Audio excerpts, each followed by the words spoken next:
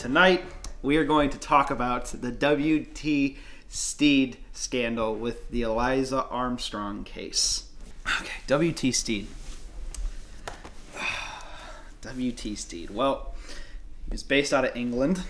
He was notorious in the late 1800s. He was kind of the first tabloid, quote unquote, tabloid journalist of his time. Um, he liked digging up really big, juicy stories. And he had this friend, Benjamin Scott, who one day, like, you know, knew that he liked to dig up juicy stories and was like, dude, dude, I have a story for you. There are, there are little girls being sexually exploited, like, throughout England. Like, that's a norm. Like, like pizza delivery, it's like, no, sexually exploited girls. That's a thing going on right now. And he's just like, what? Like, what? Like, how is this, how is this working? And, or how is this going on? And then he's like, you know what? I, I'm feeling inspired. Like, I, this, this sounds like, this sounds like the next case. I am going to investigate it. All right, so he gets really inspired and starts the Special and Secret Committee of Inquiry, otherwise known as the SSCI. Sounds pretty pretty cool.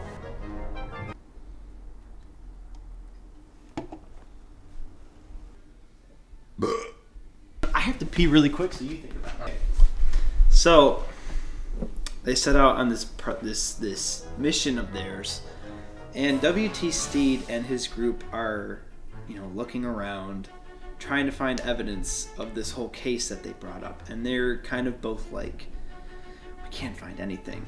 And then they have this this this person who is like you know what? I may have jackpot. I may have jackpot.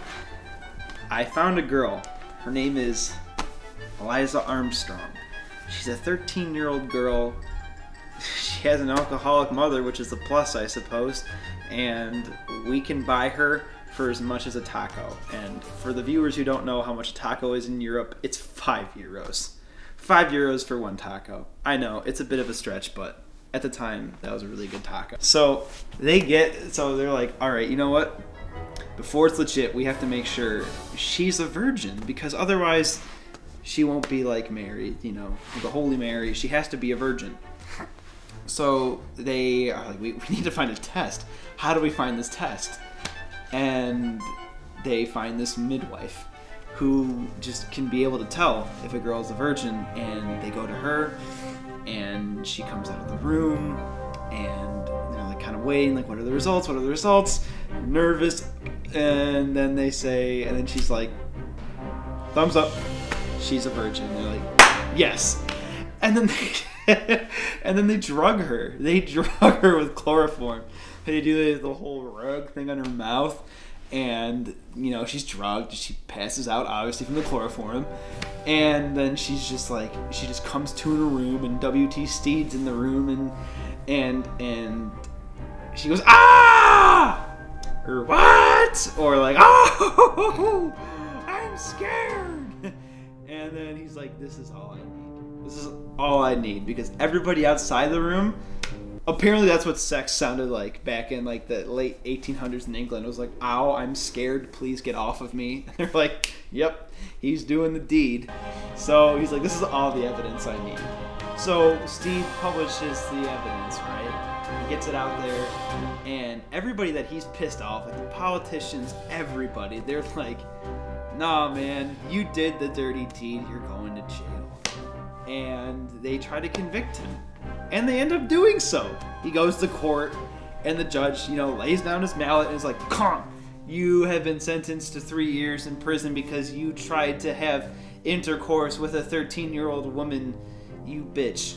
And then he goes to prison for three years. Three months.